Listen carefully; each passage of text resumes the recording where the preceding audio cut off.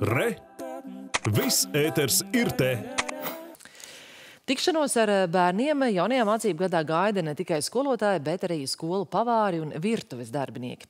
Lai bērnus iepriecinātu, pirmajā mācību nedēļā daudz vietē dienkartē paredzēti skolēnu visvairāk iecienītie ēdieni. Valmieras viesturu vidusskolas virtuves personāls dienu pirms jaunā mācību gada aizvada kārtojot virtuves traukus un katlus, kā arī spodrinot ēdamzāles telpas. Pavārs RTV stāsta, ka arī viņas pēc vasaras ļoti gaida satikšanos ar bērniem. Īpaši rūpīgi pārdomāta pirmās nedēļas ēdienkarte. Kas tam mums ir pirmdien? Oh, makarona gaļa mums būs. O, ne? Un otrdien bieži zupu, ko bērni ir iecienījuši ļoti.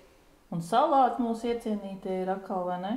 Šogad skolā būšot vairāk nekā 870 audzēkņu, pusdienas pie kopējā galda ēdot ap 600 skolēnu. Citi izvēlas ieturēt maltīti skolas kafejnīcā. Skolas virtuve pamazām saņem arī gatavošanai nepieciešamos pārtikas produktus, kā pirmie atvesti dažādi sausie produkti – milti, makaroni, griķi.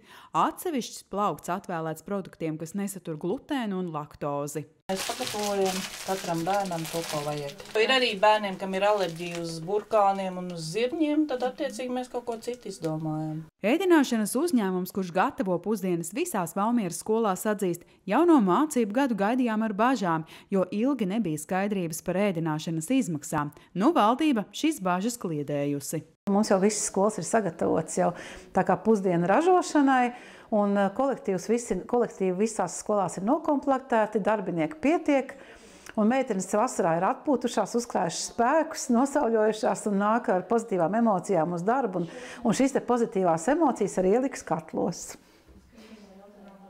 Arī vairāk nekā 80 skolu virtuvēs, kur šogad strādās uzņēmums Žāks 2, valdot pamatīga rosība, lai sagatavotos skolēnu ēdināšanai.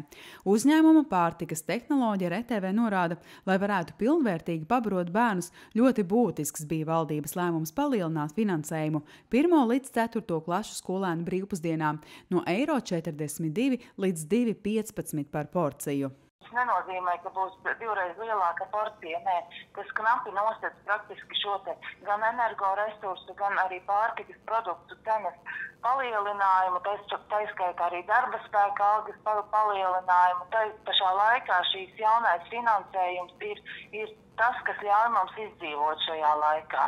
Latvijas pašvaldības savienībā norāda, nav signālu, ka kādā Latvijas skolā jaunajā mācību gadā bērniem nevarētu sagatavot siltas pusdienas. Bērni nēduši nepaliks, bērni tiks paēdināti, vai tas tiks gatavots uz skolas virtuvē vai piegādāts un attiecīgi nodrošināta šī ēdināšana caur, caur piegādēm. Nu, tur pašvaldības tā kā ir nodrošinājušas. Līdz ar valdības lēmumu palielināt finansējumu 1 līdz 4 klašu skolēnu brīvpusdienām visām Latvijas pašvaldībām kopā savos budžetos papildus jārod 2 miljoni eiro. Lauri Ansone, Emats Masakovskis, Vidzemes televīzija.